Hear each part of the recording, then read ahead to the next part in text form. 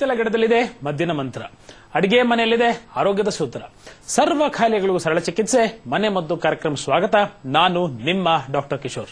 ಪ್ರತಿನಿತ್ಯ ಅನೇಕ ದೀರ್ಘಕಾಲೀನವಾದಂತಹ ಸಮಸ್ಯೆಗಳಿಗೆ ಯಶಸ್ವಿ ಹಾಗೂ ಪ್ರಭಾವಿ ಮನೆ ಮದ್ದುಗಳನ್ನ ಆಯುರ್ವೇದಿಯ ದೃಷ್ಟಿಕೋನದಲ್ಲಿ ಹೇಳ್ತಾ ಬರ್ತಿದ್ದೀನಿ. ಇವತ್ತು ನಾನು ನಿಮಗೆ ತಿಳಿಸ್ತಕ್ಕಂತಹ ವಿಚಾರ ಆಮಶಂಖ್ಯೆ ಅನೇಕ ಜನಕ್ಕೆ ಸ್ನೇಹಿತರೆ ಡಯೇರಿಯಾಗೆ ಡಿಸೆಂಟ್ರಿಗೆ ವ್ಯತ್ಯಾಸನೇ ಗೊತ್ತಿಲ್ಲ. ಡಯೇರಿಯಾ ಆಗುವಾಗ ಡಿಸೆಂಟ್ರಿ ಅಂತಾರೆ, ಡಿಸೆಂಟ್ರಿ ಆಗುವಾಗ ಡೈರಿ ಅಂತಾರೆ.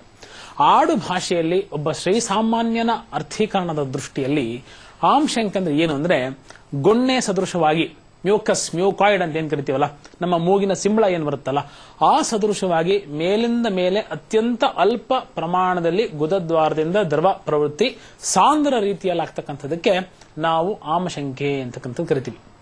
ಊಷ್ಮಣೋ ಅಲ್ಪ ಬಲತ್ವೇನ ಧಾತು ಮಧ್ಯಮ ಪಾಚಿತಂ.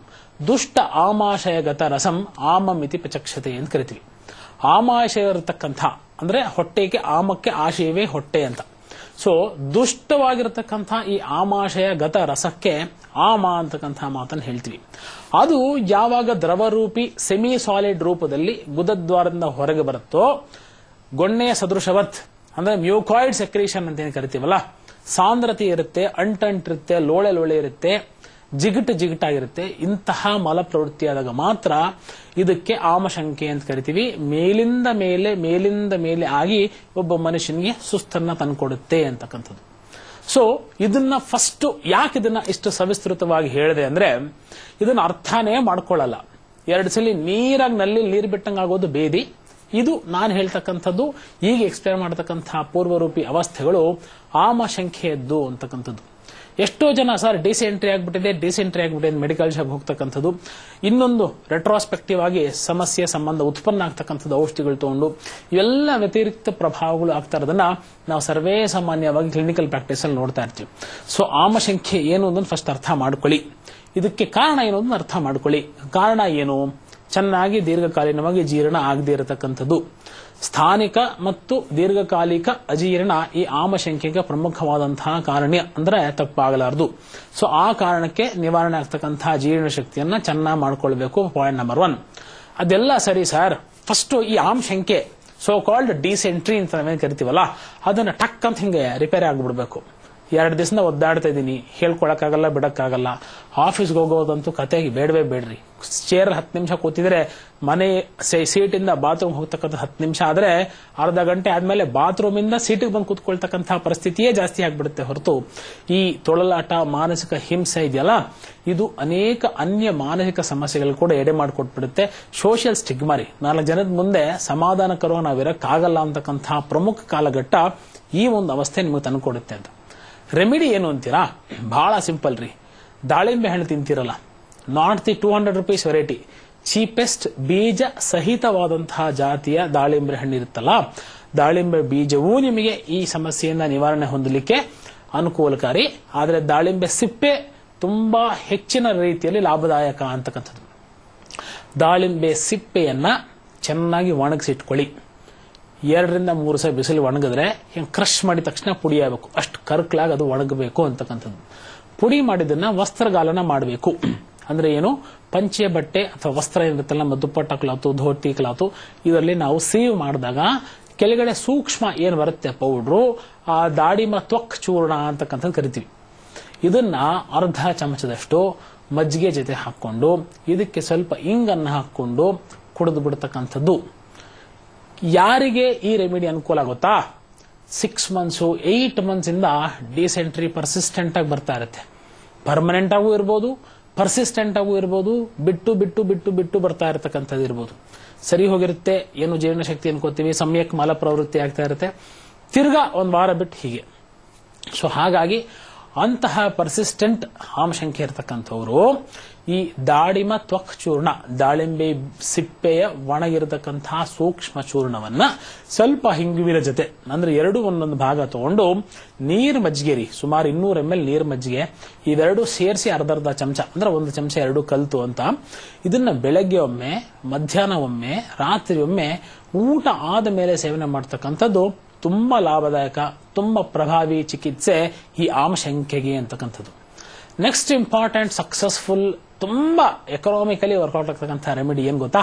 ದಾಳಿಂಬೆ, ಪುದೀನ ಬ್ಲ್ಯಾಕ್ ಸಾಲ್ಟ್ ಕೃಷ್ಣ ಲವಣ ಅಂತ ಏನು ಕರಿತೀವಿ? ಅದು ನಿಂಬೆ ರಸ. ನಾಲ್ಕೇರಿ. ಐದನೇ ಪದಾರ್ಥ ಬೇಡವೇ ಬೇಡ. ಅಫ್ಕೋರ್ಸ್ ದಾಳಿಂಬೆ ಅಂದ ತಕ್ಷಣ ಬೀಜ ಸಹಿತವಾದಂತಹ ದಾಳಿಂಬೆ ಆಗಬೇಕೆ ಹೊರತು high level hybrid modernised imported seedless ದಾಳಿಂಬೆ ಅಲ್ಲ. ಅತ್ಯಂತ ಮಿತವ್ಯಯಕಾರಿಯಾಗಿ ನಿಮಗೆ ಆ ದಾಳಿಂಬೆ ಸೀಡ್ಲೆಸ್ ದಾಳಿಂಬೆ ಇನ್ನೂರು ರೂಪಾಯಿ ಕೆಜಿ ಇದ್ರೆ ಬೀಜ ಇರ್ತಕ್ಕಂಥ ಮಾಮೂಲಿ ಪುಟ್ಟ ಗಾತ್ರದ ದಾಳಿಂಬೆ ಅರವತ್ತು, ಎಪ್ಪತ್ತು ರೂಪಾಯಿ ಇವತ್ತಿಗೂ ಸಿಗುತ್ತೆ ಅಂತಕ್ಕಂಥದ್ದು.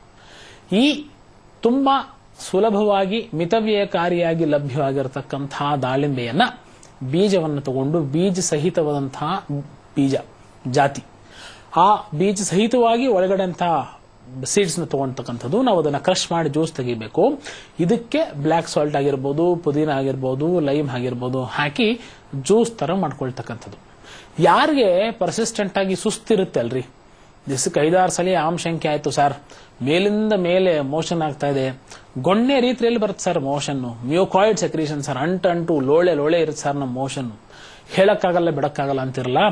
ಅಂಥವ್ರದನ್ನ ಟ್ರೈ ಮಾಡಿ ನೋಡಿ.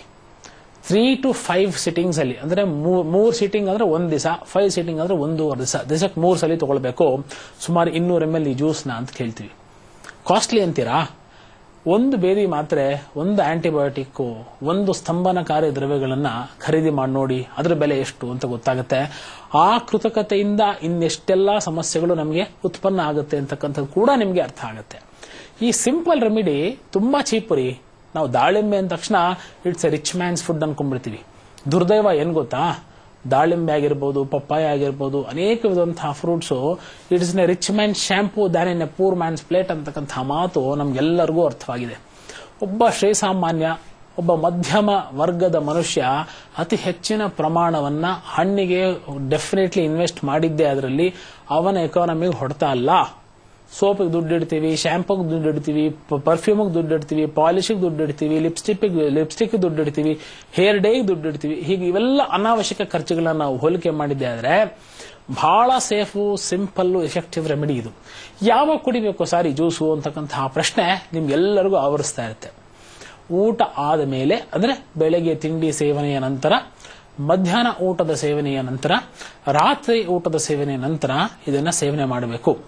ಮೈಲ್ಡ್ ಡೋಸ್ ಅಲ್ಲಿ ಇದು ನಿಮ್ಗೆ ಹಿಂಸೆ ಕೊಡ್ತಾ ಇದೆ.